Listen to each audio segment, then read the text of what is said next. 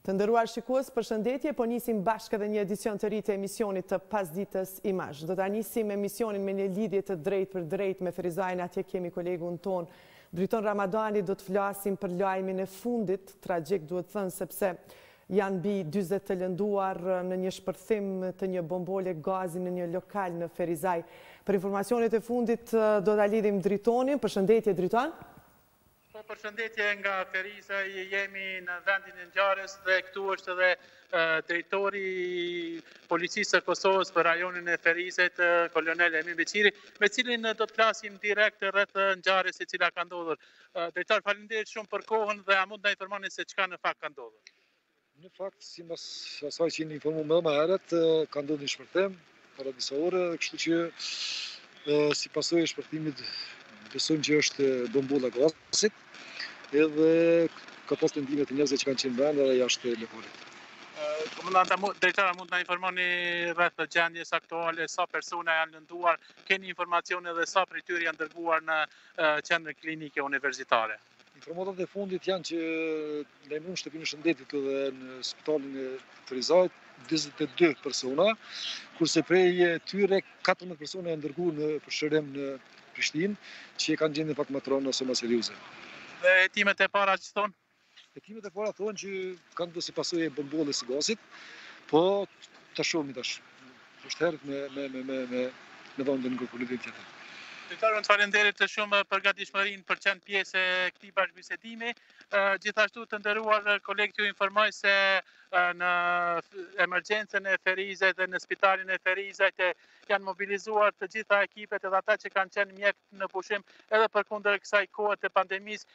janë mobilizuar që t'i ofrojnë qytetarëve të cilët kanë pësuar në këtë shpërthim, pra siç tha edhe drejtori i policisë, dyshohet nga një bombolë gazi dhe të gjithë janë duke u trajtuar këtu në Ferizaj, ndërkaq rastet më të rënda po dërgohen në QKUK në Prishtinë. Pra këto janë informacionet e fundit sa i përket shpërthimit i cili ka ndodhur rreth orës 14.30 minuta këtu në Ferizaj.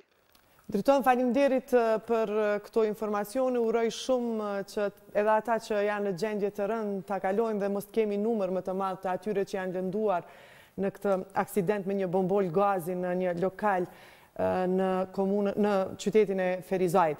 Do të rikthehemi me një temë tjetër sot prej orës 18 do të mbahet një seancë e jashtëzakonshme e Kuvendit të Kosovës me një pikë të vetme të rendit ditës. Marrja e vendimit për bashkëdërgimin e kontigjentit të Forcës së Sigurisë së Kosovës në misione jashtë vendit me Gardën Kombëtare të Ajovës. Për të diskutuar për këtë, por edhe tema të tjera, kam të ftuar zotëri Hysen Berisha. Mirë se erdhët zotëri Berisha, faleminderit që jeni në studion e emisionit Imazh. Mirë se ju gjeta. Për juve si ishte ky lajm? Po mendoni i dyti? Për, për, po, po. lajmi i parë me siguri që... Shife, me... është shqetsuës, po, por... Po, është shqetsuës dhe shpreh ngushëllime familjarëve që mund të kenë të humbur, është çështje ndoshta e kushteve të shërbimit në këto gastronominë tonë dhe standardeve, sepse nuk duhet përdoren ato bombola nëpër këto ambiente, se këto nuk shpërthejnë përditë, po atëherë kur shpërthejnë, shkaktojnë pasoja. Sa i përket çështjes së dytë që ngritët, për faktin se kam qenë njëri ndër oficerët që kemi qenë të angazhuar drejtpërdrejt në procesin e rishikimit strategjik të sektorit sigurisë dhe produktit që ka qenë projekti Forcat e Armatosura të Kosovës deri në dorëzimin e planit gjithëpërfshirës për transformim apo tranzicion. Vërtet se jam ndjerë mirë, bile mund të them se pas pakos së ligjeve për Ministrinë e Mbrojtjes forcën dhe shërbimin në forcë, ky është ligji ma i rëndësishëm. Jo se s'do të ketë edhe momente dhe data më të rëndësishme sa i përket forcës dhe zhvillimit të saj, sepse na kemi synime për integrime euro dhe atlantike, por për faktin se tani është krijuar mundësia që ato kapacitete që i kemi prej kohësh pothuajse të konsoliduara radhët tona, pastaj kemi tregu rezultate në shumë misione që na është dhënë rasti në formën e trajnimeve të përbashkëta, mbështetjeve e tjera. Kemi tregu rezultat të lartë dhe kjo është një mundësi e mirë reale që Kosova ta rregullojë statusin e forcave të veta, ta mundësojë ligjërisht co-deployment ose daljen në misione, zbarkimin në misione jashtë vendit, edhe në një farë forme ta rregullojmë, ta përfitojmë përkrahjen e vendeve anëtare të NATO-s dhe gjithë shteteve tjera për synimin tonë që e kemi për ngritjen e kapaciteteve me të cilat do të jemi interoperabil me gjitha vendet e NATO-s dhe duke qenë se NATO-ja është organizatë edhe politike dhe ushtarake, atëherë është një rol shumë i fuqishëm, i ushtrisë në politikën e jashtme të shtetit, duke i hapur dyert edhe për integrimin politik të vendit në organizatën politiko-ushtarake që është NATO, edhe në integrimin ushtarak përmes mbështetjes në operacionet e mbështetjes së paqes në të ardhmen. Po, deri më tani kanë thënë po-në e tyre disa parti politike të cilat do të jenë sot në Kuvendin e Republikës Kosovës për të votuar këtë vendim si pikë e vetme. Vendimi mbështetet në një memorandum të qeverisë Kosovës që e ka nënshkruar me Ambasadën e Shteteve të Bashkuara të Amerikës për me dërgu FSK-në në misione jashtë vendit me Gardën Kombëtare të Ajovës. Po më thoni që FSK-ja ka qenë gati në kuptimin e plotë për të qenë pjesë e misioneve paqeruajtëse edhe para këtij vendimi ose memorandumit të bashkëpunimit. Tashi kështu, do ta ndajmë përgjigjen. Qëndrimi pro mhm. do të duhet vinte nga të gjithë ata që sot e përbëjnë spektrin politik të Kosovës, në qoftë se e kuptojnë peshën e sistemit të mbrojtjes dhe sigurisë në zhvillimin e të gjitha fushave tjera brenda një shtetit. edhe në raportet ndërkombëtare të Kosovës në aspektin diplomatik. Të gjithë duhet të thonë po.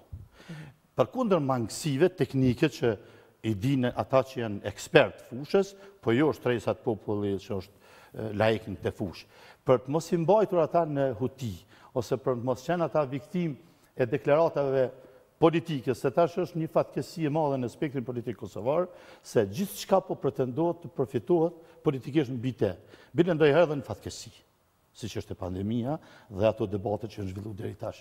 Por mbi këtë vlerë, që është ushtria e Kosovës, nuk guxohet të profitohet politikisht. Këtu duhet të punohet me pastërti. Pse? Sepse edhe kjo kërkesë që po shkon në parlament, Për t'u rregulluar statusi i forcës, pra për t'ju thënë po ligjërisht mundësisë së angazhimit në misione jashtë vend, në mbështetje të paqes. Gjithmonë, këto termat kanë rëndësi të elaborohen për qytetarët. Nuk duhet na t'i shofim këto si hipoteza politike. Këto janë rrjedhojë e zhvillimeve programore me plan. gjithëpërfshirës të transformimit, tranzicionit, dhe domosdo se sjellin deri këtu ku kemi ardhë, që një ditë ta kërkojmë që përmes parlamentit tonë të rregullohet statusi i forcës dhe të mundësohet që forca të dalë në misione ndërkombëtare, ashtu siç e ka në fushën e misionit. Krahas misionit konvencional që e ka forca, me ligje tash që iu ka dhonë. Dhe detyra shtesë që dalin nga ligji. Ë Ky mision është i ndarë në katër fusha. Domethonë, në mision konvencional qytetarët duhet ta kuptojnë hin mbrojtja e integritetit territorial, sovranitetit në shumë shtete, ë qytetarëve, pronës e tjera. Pastaj Ky mision i rëndësishëm ndahet në katër fusha që specifikisht e mundësojnë përmbushjen e tij si forcë. Dhe cilat janë ato? Është mbrojtja e integritetit territorial, mbështetja ushtarake autoriteteve civile. Çka nënkupton kjo? Kur bjen pandemia dhe u desht, forca t'i vejë në shërbim ambientet e veta, në forma të ndryshme, ose përmbytjet ose tërmetet ku ta di unë. Fatkeqësi tjera. Po, pastaj e kemi operacionet ndërkombëtare dhe mbështetjen qendrore që përfshin administratën dhe shkollimin. Operacionet ndërkombëtare që gjatë procesit të RSS, rishikimit strategjik të sektorit të sigurisë, e kam bërë personalisht, përfshin operacionet e mbështetjes së paqes dhe përgjigjen në raste krizash natyrore. Pra, në operacionet, në kriza natyrore, është dëshmue forca shumë herë, kemi pas një perimetër prej 200 dhe 500 km, që kemi gjithmonë kemi qëndru në mes kësaj, ata bëjmë 200, ata bëjmë 500, për shkak të raporteve që i kemi ende me shtetet fëqinje, mirëpo edhe në Kroaci, tash i kemi të gatshë me dhonë kontributin tonë, gjatë tërmeteve, në Shqipni veç kemi dëshmue, në vendet tjera. Operacionet e mbështetjes paqes, Vetë termi mbështetje e paqes nuk nënkupton peace enforcement me sjellë paqen, me luftë, sikur ka bo NATO në Kosovë, apo të peace keeping me mbaj paqen në atë shtet, që prapë mbahet me trupa t'NATO-s në Kosovë. Pra, operacioni mbështetje nënkupton ofrimin e atyre shërbimeve të cilat e stabilizojnë paqen në atë vend e që janë mbështetja e popullsisë në gjendje të vështirë, siç kanë ba disa organizata këtu në Kosovë dhe TMK-ja e ka pas si mision të fazës parë zhvillimore. Trupa që shkojnë pas një krize në një shtet. A mund po, ta themi pas një krize, pas një krize, themi për publikun qytetarët duhet ta kuptojnë pas një krize. Mhm. Dhe kryesisht do të shkohet me ato kapacitete që veç i kemi arritur dhe që i kemi pas dhe si trupë mbrojtëse e Kosovës. Mhm. Tash kanë avansuar dhe më shumë. Sepse, shife, rishikimi strategjik është një veprim që duhet të kryhet periodikisht në vazhdimësi brenda forcës. E imponojnë zhvillimet e sigurisë në rajon, por e imponojnë edhe zhvillimet teknologjike.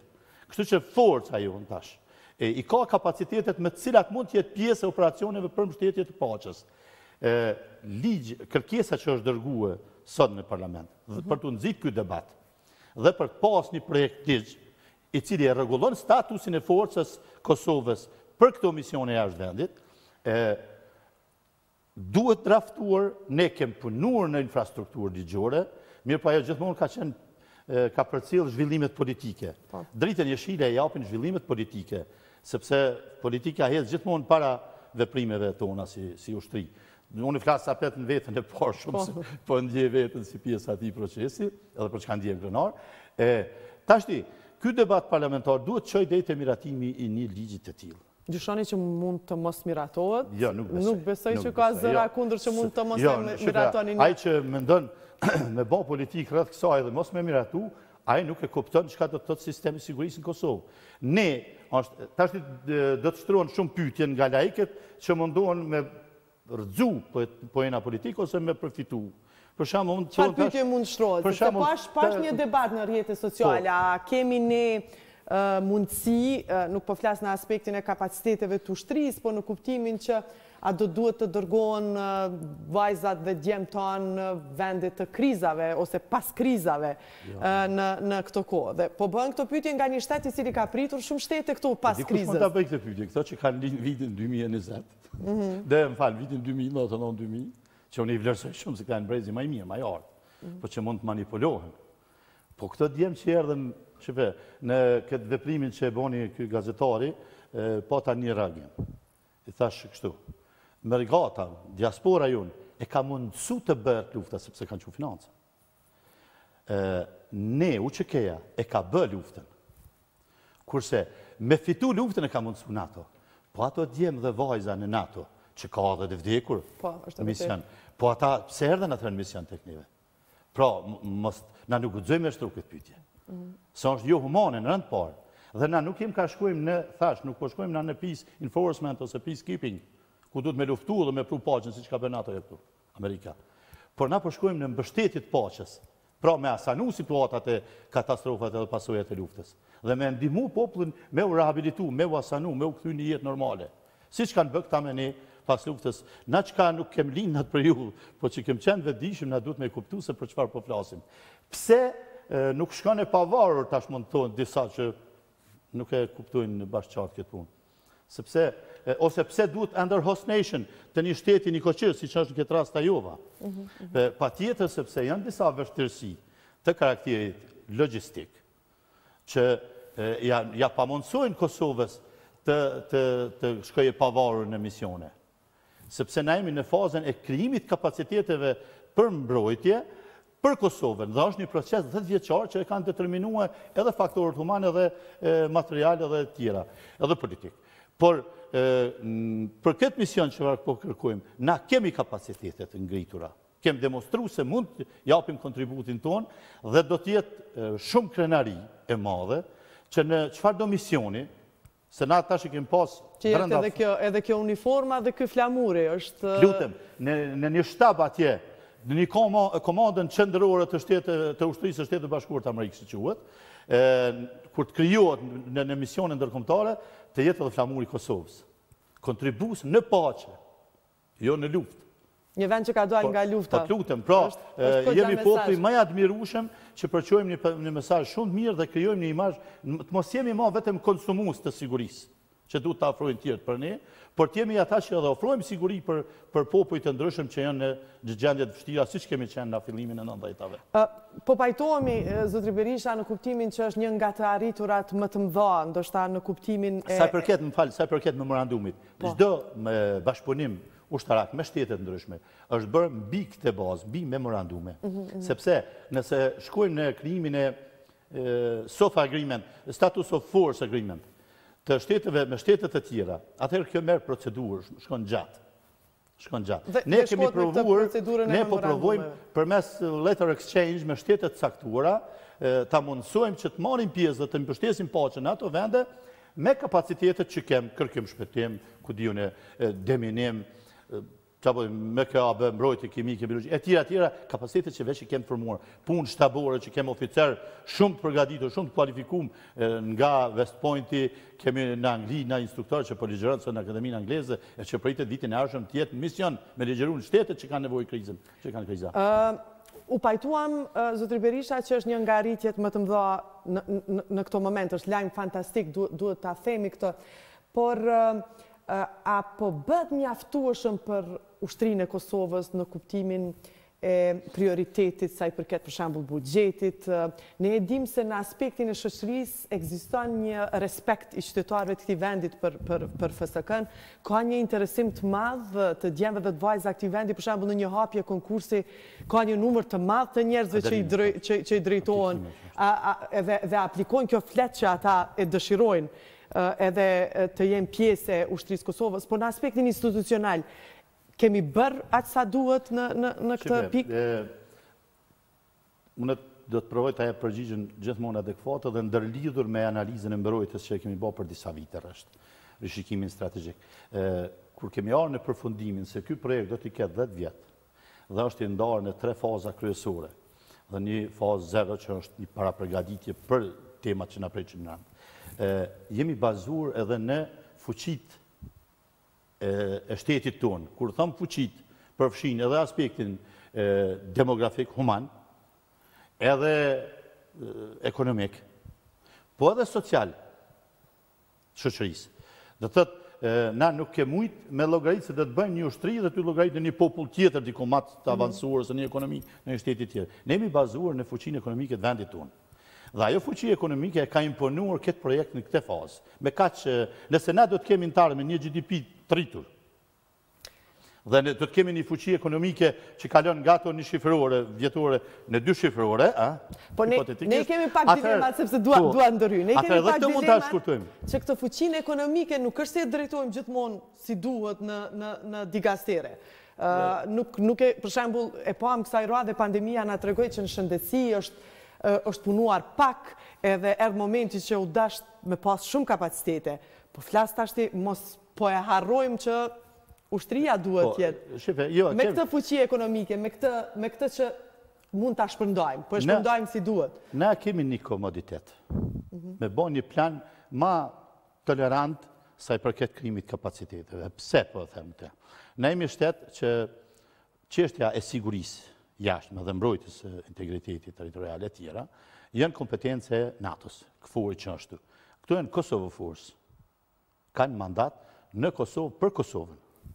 Dhe kjo na jep komoditetin neve që të mos e sforcojmë shtetin në aspektin financiar me investimin që bëjmë në ushtri. Ta rujmë një lloj balanci.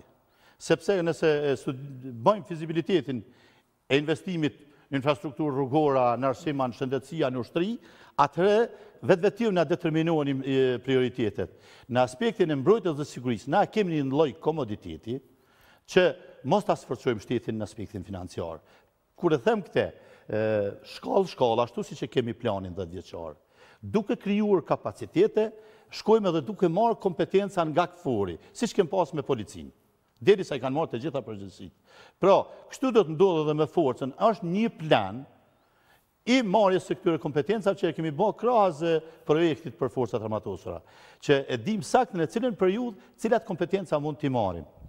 Por, projekti, synimi jonë, objektivi jonë, për të qenë pjesë e operacioneve ndërkombëtare, me theks mbështetjen e paqes. për të vepru under host nation, një shteti nikoqir, siç e kemi tash situatën, është më i miri dhe do të sjellë më shumë dobi për Kosovën, për qytetarët, në aspektin e sigurisë dhe mbrojtjes. Kjo do ta rrisë imazhin tonë në NATO, në rend të parë, do të tregojë aftësitë tona për të qenë interoperabil dhe ndërveprues me shtetet anëtare të NATO-s, duke operuar ani se nën host nation ose një shtet nikoqir, siç e kemi rasin me Ajovën, e cila ka një rol të veçantë në ngritjen e kapaciteteve tona, ka arrit ketë edhe mbi 100 aktivitete të bashkëpunimit ushtarak me Kosovën, me Forcën e Sigurisë Kosovës, në çdo vit të zhvillimit të këtyre kapaciteteve. Na kemi një marrëveshje mbi bazën e memorandumit gjithmonë me gjitha shtetet edhe me SHBA-t, ku Ajova e ka përgjegjësinë kryesore. Dhe unë besoj se jo që do ta kalojë këtë procedurën formale parlamentare, kjo as s'duhet diskutohet, kjo do të ishte një nonsens me dëgju dikush, por do të Mundohemi sa ma shumë me e shty procesin që t'jemi pjesë e këtyre operacioneve të mbështetjes së posë. Do ta shohim debatin edhe unë nuk besoj që do të ketë ndoshta zëra kundër, gjithsesi do të ketë mendime dhe do të shohim diku në orën 18, do të jetë në transmitim të drejtpërdrejtë në RTK kuvendi. Për ta përmbyllur këtë pjesë edhe pasi që të kam në studio, duhet flasim pak edhe, edhe për politikë, sepse jeni anëtar i një partije politike, zgjedhjet janë afër, por Dua disa herë e the që nuk duhet që kjo pjesë të merret baras ose të kalkulohet me vota, thënë të drejtën sa herë që vijnë zgjedhjet edhe fushata nuk e ka nuk nis në momentin që thotë KQZ-ja po nis pak ma herët sepse kalkulohet gjithçka. Po unë e pashë edhe një debat, një koment diku në një shkrim, këto që janë virtuale, thoshte ha e paskan gjetë një Arsye për me na lyp vota se ja na po i çojmë ushtrinë në mision jashtë vendit. Kjo është e tmerrshme. Nuk gux këto e bojnë, këto kanë profitu kur kom pa që po profitojnë edhe në çështje të pandemisë. Edhe në fatkeqësi të njerëzve se kanë vdek njerëz, kanë dhënë jetën, kanë humb jetën. E, mund ta bojnë politikanët, se paskrupullësia e politikanëve ka shku deri ku s'lejohet ma. Mhm. Por mbi këtë fenomen nuk guxojnë të profitojnë, se nuk është meritë e askujt. Domethënë kjo nuk është e meri. Kur kanë çu ligjet unë kam dëgju X politikan tu thon ne kemi çu ligjin kemi miratu ligjin. S'është e vërtetë që e ke çu ti hiç.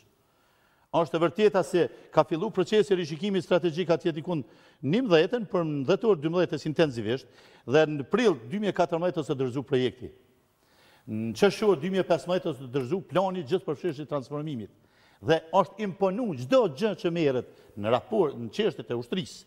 ngritjes kapaciteteve ushtarake, sistemit mbrojtjes dhe të sigurisë, është proces i domosdoshëm që duhet ndodhë.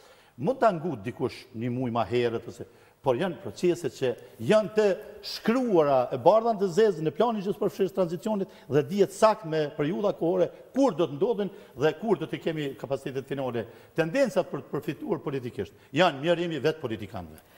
Dhe tani është kjo koha e e e përfitimit politik ose e fushatës elektorale që pritet të nisë së shpejti Zoti Berisha, ju jeni në Partinë Demokratike të Kosovës, sot patëm edhe një konferencë të ushtruesit detyrës kryetarit, njëkohësisht është kandidat për kryeministër zotri profesor Enver Hoxhaj. Ai përmendi që në listë do të jenë edhe dy deputetë ose dy kandidatë për deputet nga Lugina e Preshevës për ta përfshirë Edhe edhe Presheva në listë, thotë që edhe në bisedime do ta ketë këtë idenë për diskutuar për Luginën e Preshevës.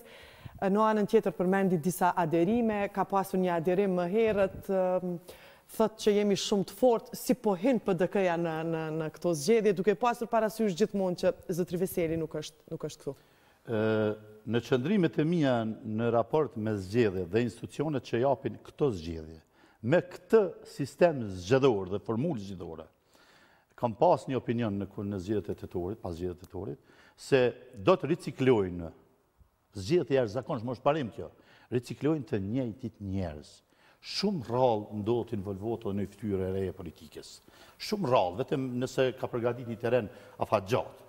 Edhe kjo është një. E dyta, zgjedhjet e tilla, me këtë sistem zgjedhor, këtë formulë zgjedhore, do të rigjenerojnë prapë njëjtën krizë. Dhe kjo është mjerim.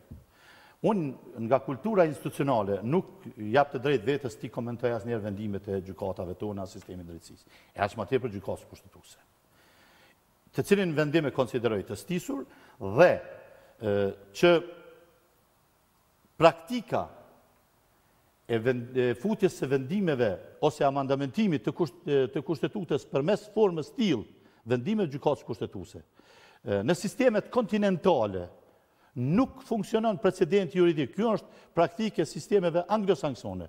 Mirëpo në konsulta me profesorë ekspertë kësaj fushe, me të nderumin profesor Hasani, është fut kjo, është imponu nga ndërkombëtarët që kanë qenë në këto gjykata. Okej që është fut, por format e tilla të krijimit të neneve dhe amendamenteve kushtetuese, sa herë ne bojmë zgjedhje, sa herë ne na shfaqet një interes politik, një ditë s'do ta njohim Kushtetutën tonë, nëse e krahasojmë me atë autentiken, parën. Pra, këto nuk janë të rregullta.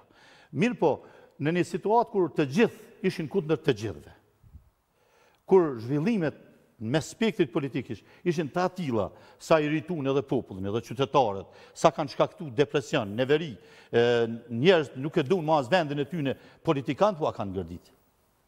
Me zhvillimet politike që kanë bo, tolerohet, duhet, pajtohemi që përgatitemi me shku edhe në zgjedhje. Përndryshe, ka pas alternativa, e kam thënë e përsëris se ka pas zgjidhje politike me kriju stabilitet edhe me i ofru Kosovës një rrugë dinjitoze, se si me ardhë deri te zgjedhjet e rregullta. Nuk keni kërkuar qeveri gjithëpërfshirëse që i bie në kuptimin e hyrjes së të gjitha partive politike apo vetëm PDK-së në këtë koalicion? Këtë gjithëpërfshirëse e kam thënë menjëherë pas zgjedhjeve tetorit, pastaj kam dhënë edhe një alternativë, meqenëse VV-ja ka qenë si parti për bashkim kombëtar, nuk ka qenë pro kësaj forme të shtetit, atëherë të gjitha partitë duhet së bashku dhe t'i kryejnë detyrat që i kemi në proces. Reforma zgjedhore, po më thani, ndryshimet kushtetuese? Duhet reforma zgjedhore. Nuk mundet një qytetar, një votues t'i votojë 5 deputetë. Nuk mundet me ardh deputetë që i kanë karrigat e rezervume në parlament. E shumë dukuri e fenomene që i kam potencu dhe qytetarët ndoshta edhe mërgata i ka marrë pak pa e kuptu qëllimin e atij propozimi, por këto vota që po na vijnë nga jashtë, duhet ta kuptojnë mërgimtarët se nëse janë me qindra mija nuk mund ta paragjykoj sa është shifra e mërgimtarëve jashtë vendit, mos të harrojnë se janë edhe një qindra mija qytetarë të Kosovës, me përkatësi etnike serbe që jetojnë në Serbi. Më ka bërë përshtypje pse keni thënë, zotëri Berisha, që qeverisja Hoti është braktisur gjatë rrugës nga partnerët e saj, e kjo e ka futur në pozicione jo të favorshme, për mua më duket se deri më tani ka ecur mirë. Për herë të parë kemi një qeveri ku ende nuk po përflitet për vjedhje e tenderë. Po pikërisht, shih. Që ju jeni nga PDK dhe po flisni për një... Po, unë kam folë për një individ, për një person. Për zotëri Hotin? Në fakt, Me ndonjë përjashtim, edhe kabineti i tij nuk mund të përfolet. Pastaj, në kabinetin e tij ende s'kem pa noj vjedhje përmes tenderëve, paktën deri tash. Në aspektin ndërkombëtar, u bë një kthesë e mirë. U arrit... Ka pas disa lajme për tenderë familjarë, nepotizm... Janë ato përfoljet, ja kjo 2 milionë që ku ta di unë. Po këto janë praktika të krijuara ma herët. që në administratë ka ende njerëz që provojnë t'i, t'i shtyjnë. Mirëpo unë po flas për gjëra më të mëdha sesa këto. Edhe pse këto e cenojnë mirëqenien e qytetarit dhe temen. Mirëpo, në aspektin e marrëdhënieve ndërkombëtare, pati një asanim të situatës.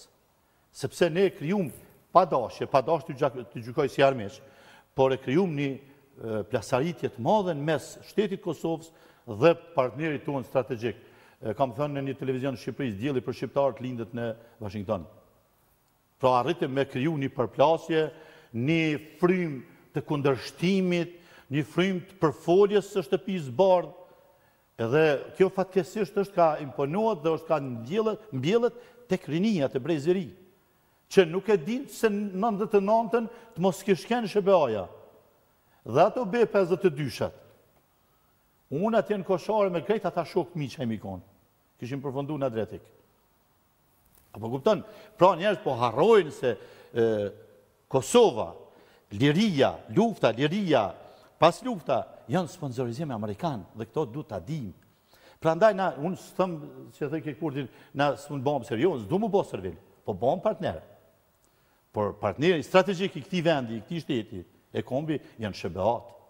Na kemi provu e historia na ka sprovu me Bashkimin Evropian dhe shtetet e Evropës. Dhe na e dimë ku kemi përfundu. Na po i shohim edhe tashti pretendimet, shive, sot u fol, për kthimin në bisedime në nivel ekspertësh. Po kjo ka qenë faza e parë e bisedime me Serbinë. Pas ne kemi kalu në stadin e bisedimeve politike, që duhet mbyllë me marrëveshjen e njohjes së ndërsjellë.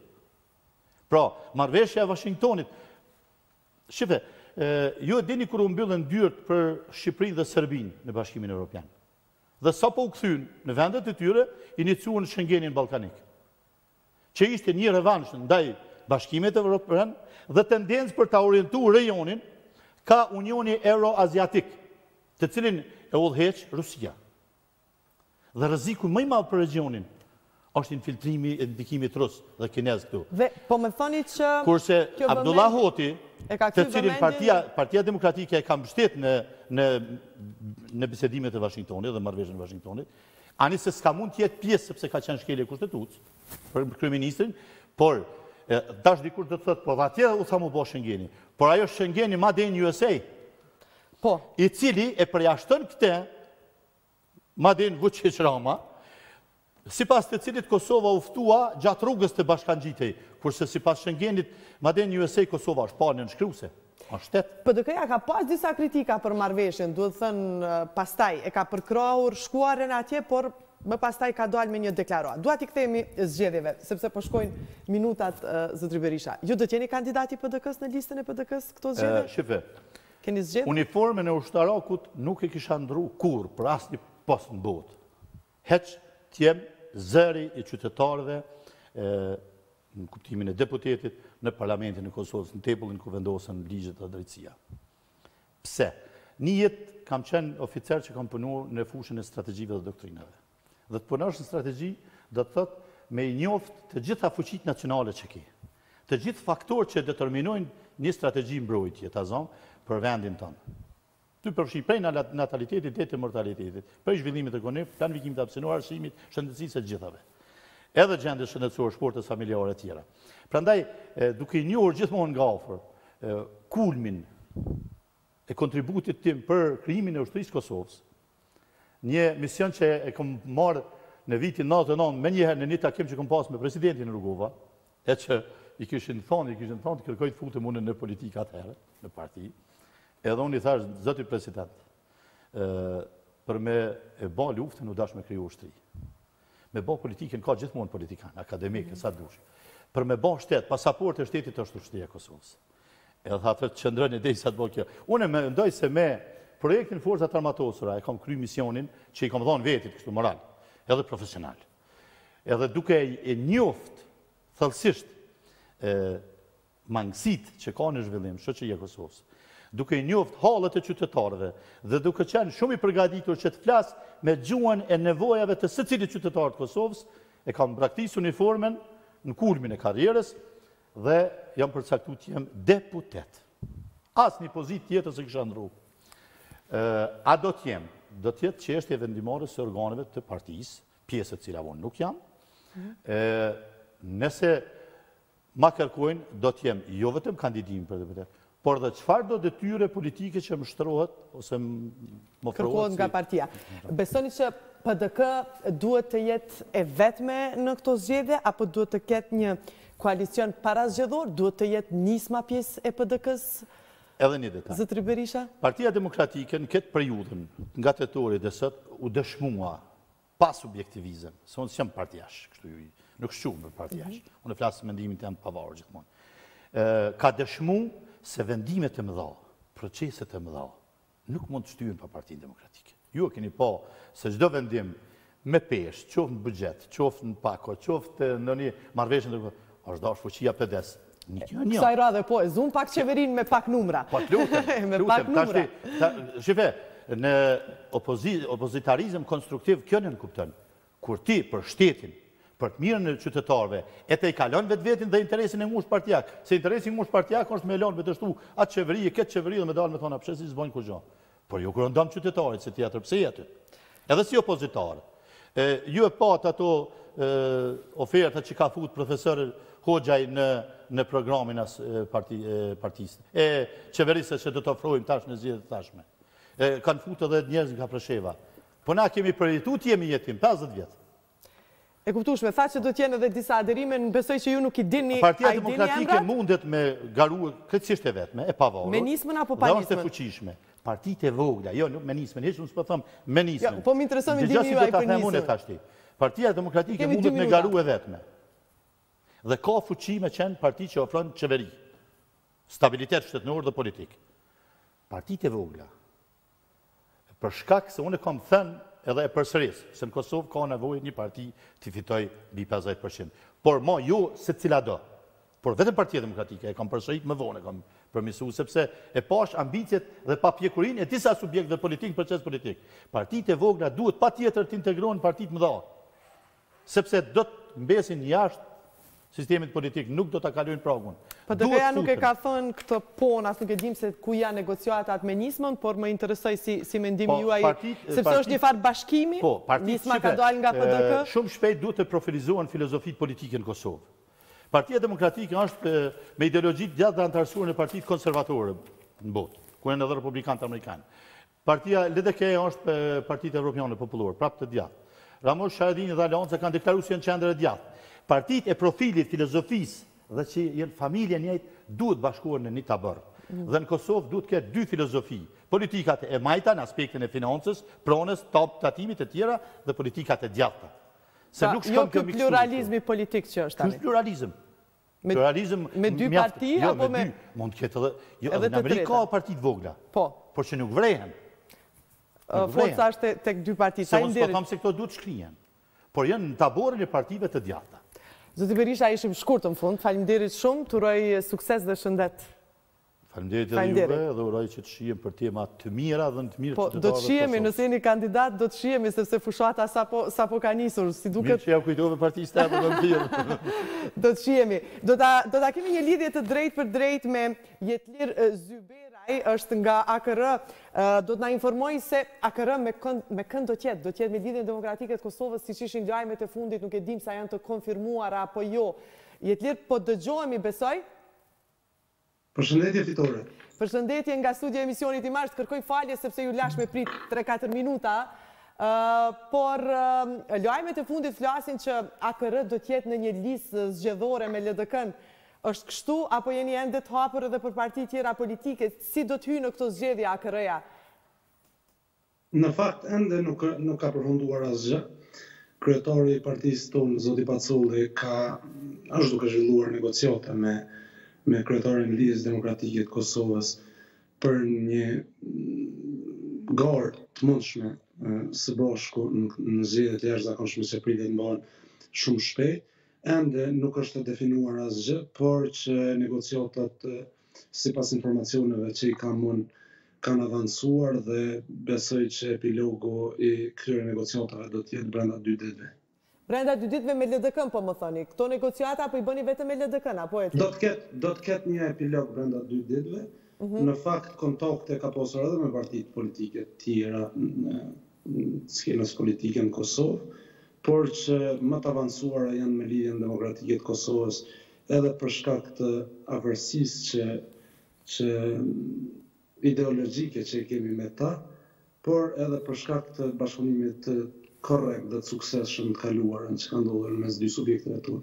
Apo ka edhe një frikë të kalimit të pragut, Jetlir, në kuptimin që herën e fundit bashkë me Nismën ishte pak problem Edhe ishin ato minutat e fundit që i thojmë ne të lojës shtesë për të hyrë në Kuvend. Nuk e keni menduar asnjëherë që të garoni e vetme si AKR apo gjithsesi do t'i bashkoheni një liste të partisë, ndonjë partie të madhe politike? Në fakt secili subjekt politik që graviton skenën politike të Kosovës, është e angazhuar dhe e përgatitur që të garojë vetëm në zgjedhje. Megjithatë, në kalkulimet politike të subjekteve politike nuk përjashtohen as koalicionet dhe bashkëpunimet e mundshme parazgjedhore, varësisht prej qëllimeve dhe dhe cakut të cilat synojnë bashkërisht ta arrijnë. AKR-ja pas konsultimeve dhe dhe diskutimeve të brendshme, Ka konsideruar që në këto zgjedhje është më mirë që të garojmë së bashku në një koalicion parazgjedhor dhe në mënyrë që ato synimet tona të jenë më lehtë të arritshme. Kjo është arsyeja, nuk nuk ka asnjë arsye tjetër. Po me Nismën nuk keni diskutuar fare, Jetlir? Në fakt me Nismën Socialdemokrate ka qenë një bashkëpunim në vitin dy mijë e nëntëmbëdhjetë, i cili është përmbyllur në mënyrë korrekte dhe që nuk e kemi parë të arsyeshme që të kemi diskutime ose mundësi të bashkëpunimit në këto zgjedhje. Jetlir, më thatë që për dy ditë që ta jepim këtë këtë këtë lajmin për dy ditë do të ketë një epilog, por negociatat po shkojnë kah ajo pozitivja në kuptimin që ka përafrim dhe AKR-ja do të jetë në një listë me LDK-në. Po besoj, po besoj që epilogu do të jetë pozitiv, për shkak të asaj se si janë zhvilluar deri më tash këto bisedime, ka qenë një korrektësi nga ana e Lidhjes Demokratike dhe kryetarit Mustafa në këtë drejtim dhe qëllimi jonë i përbashkët është që pas zgjedhjeve Kosovës t'i jepet një qeverisje efektive, qeverisje e fuqishme në aspektin e numrave dhe e cila do të përballet me sfidat e mëdha të cilat e presin vendin për shkak të krizës së madhe ekonomike të shkaktuar nga pandemia vitin e kaluar Ne të gjithë e dimë, jemi koshientë që në Kuvendin e Kosovës u miratua një ligj për rimëkëmbje ekonomike, por i cili nuk mjafton për të zgjidhur rrënimin ekonomik të shtetit dhe qytetarëve tonë vitin e kaluar dhe besoj që hapat e menjëhershëm të qeverisë së re, e cila duhet të jetë jashtëzakonisht e fortë me numra në Kuvendin e Kosovës, Duhet të orientohen në mënyrë imediate në sanimin e këtyre dëmeve, në krijimin e disa pakove tjera të rimëkëmbjes ekonomike dhe kjo është qëllimi jonë edhe që është duke u diskutuar nga zoti Pacolli dhe zoti Mustafa në negociatat për garën e përbashkët në zgjedhjet e ardhshme. Unë besoj që epilogu do të jetë brenda dy ditësh, për shkak se nesër eventualisht këtë javë pritet edhe caktimi i datës zgjedhjeve të cilat duhet të mbahen jo më larg se dyzet e pesë ditë nga ardhja e këtij vendimi dhe jemi të kufizuar edhe nga aspekti kohor që t'i japim drejtim kësaj çështje. Ka ndonjë numër se sa do të jenë deputetët e AKR-së në atë listë? Është çështje e negocimit, unë besoj që nuk do të kalojë numrin pesëmbëdhjetë. Pesëmbëdhjetë deputetë, pesëmbëdhjetë kandidatë për deputetë po më thoni. Po, mund të jetë edhe më i vogël ai numër, po unë besoj që nuk do të kalojë atë numër, Në anën tjetër, Aleanca Kosova e Re gjatë kësaj periudhe ka zhvilluar takime të shumta me strukturat drejtuese, qoftë në qendër, qoftë në nivel të Kosovës, në drejtim të mobilizimit dhe pregaditjes sa më të mirë të këtij procesi zgjedhor. Dhe unë jam jashtëzakonisht optimist që ky proces do të flasë shumë pozitivisht për ne si AKR, por edhe për koalicionin në përgjithësi. Jetlir, faleminderit për këtë lidhje të drejtpërdrejtë, faleminderit për këto informacionet e fundit për negociatat që po bëhen në mes LDK-së dhe AKR-së për të qenë në një listë zgjedhore. Faleminderit shumë. Faleminderit. Të nderuar shikues në vazhdim do të ketë marketing dhe këtu do ta përfundojmë edhe këtë edicion të emisionit Imazh sepse për pak do të nisë seanca e Kuvendit të Kosovës për FSK-në dhe ne do të shihemi nesër në ora shtatëmbëdhjetë e pesëmbëdhjetë, ju qëndroni ende me rtk.